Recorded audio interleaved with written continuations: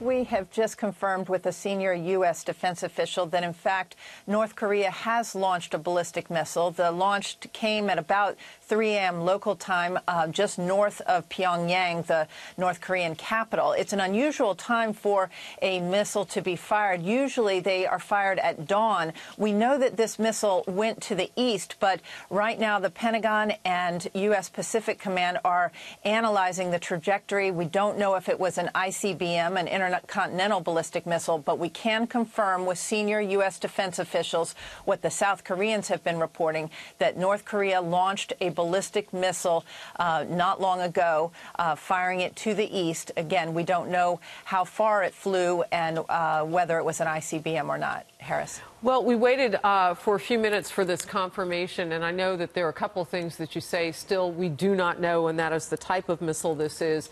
But Jennifer, this is not happening on a day in which there was no news with North Korea. I mean, this this day started uh, in the wee hour, wee morning hours of reports, at least from Reuters, and now building upon different sources. Uh, in which North Korea says it's farther along in its nuclear program. The South Korean ministry saying, you know, it, it looks to be that that is the case. Absolutely. In fact, the reports came from the South Korean reunification minister saying that within a year, North Korea would have completed its nuclear program. Remember, North Korea already has about 20 nukes, so it's not that they don't already have nuclear uh, nuclear capability, but this is a new report from South Korea suggesting that within a year, the latest intelligence suggests that North Korea's nuclear program would be uh, complete.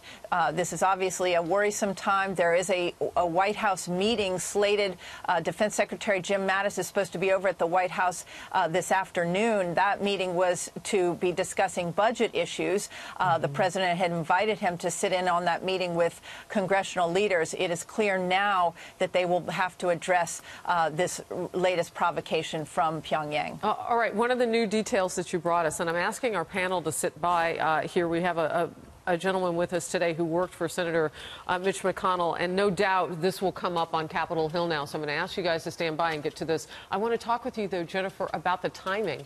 This happened in the middle of the day for Americans. So if they're trying to get our attention or the world's attention, it's not the overnight. And you mentioned the timing. Talk to me about it.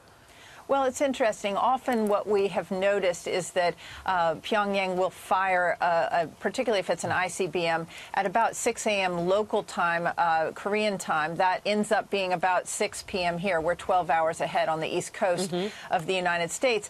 Uh, again, it's hard to get into the mind of the leader of the North Korean regime.